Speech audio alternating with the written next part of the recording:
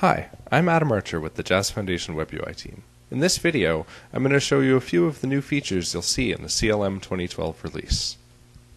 The first things I'd like to show you are our improvements to the navbar and the mini dashboard.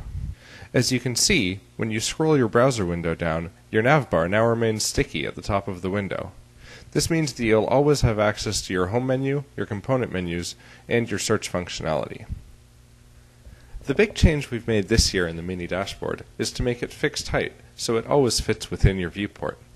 This means you can scroll your mini dashboard content independently from the rest of the web UI and vice versa. We've also made the mini dashboard resizable to provide a bit more flexibility.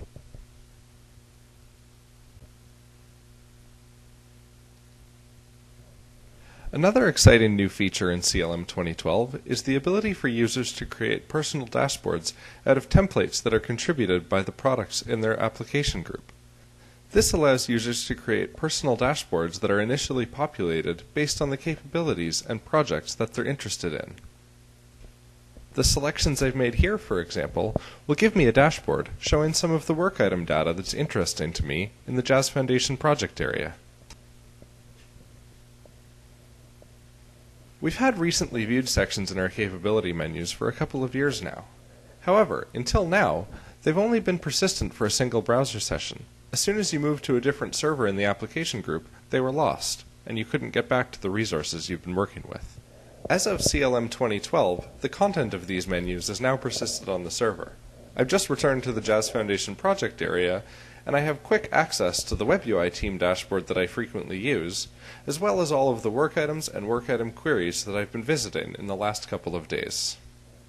Another new feature in dashboards in this release is the addition of a stable details section to both project and team dashboards. This provides users a consistent place to find some key information about the project or team area, such as the status of its plan, the timeline of the release, or some of its members.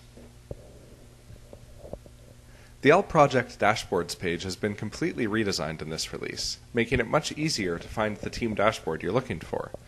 You can either browse through the list of teams using the tree view, or simply type what you're looking for using the filter box on the top right.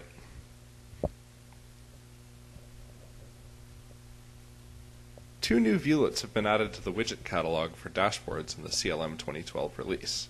The first is the recently viewed viewlet, this shows all the same recently viewed information that's available from your capability menus, except that it combines all artifact types across the server. As you can see here, the viewlet is showing me some of the dashboards I visited recently, in addition to my user profile. The second new viewlet is the Server Connection Status viewlet. This shows some basic information to give me an idea of the quality of my connection to the server. The last two features I'd like to show you today involve integrating our dashboard widgets with non-Jazz environments. One way to do this is through the use of OpenSocial. Any widget you see in a Jazz dashboard can now be exported as an OpenSocial gadget with all of its preferences already intact. You can then add that gadget to any OpenSocial compliant container, such as iGoogle, or in this case, Jira. Once the gadget has been added to the Jira catalog, I'm able to add it to the Jira dashboard. And once I log in, the gadget is pre-configured to show the exact same results that it showed in the Jazz dashboard. Another way to export the widget as an OpenSocial gadget is to do so directly out of the widget catalog. Using this method, the user will have to configure the gadget in the OpenSocial container after adding it. Another way to export widgets for external use is through raw HTML. This allows you to embed the gadget in any page you like, such as a wiki topic.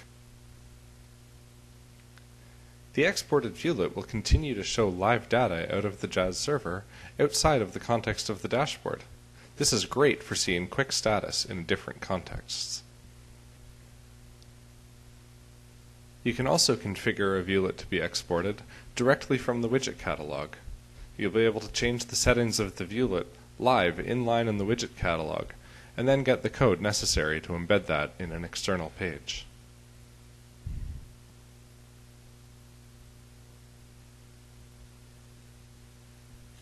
Thanks for watching.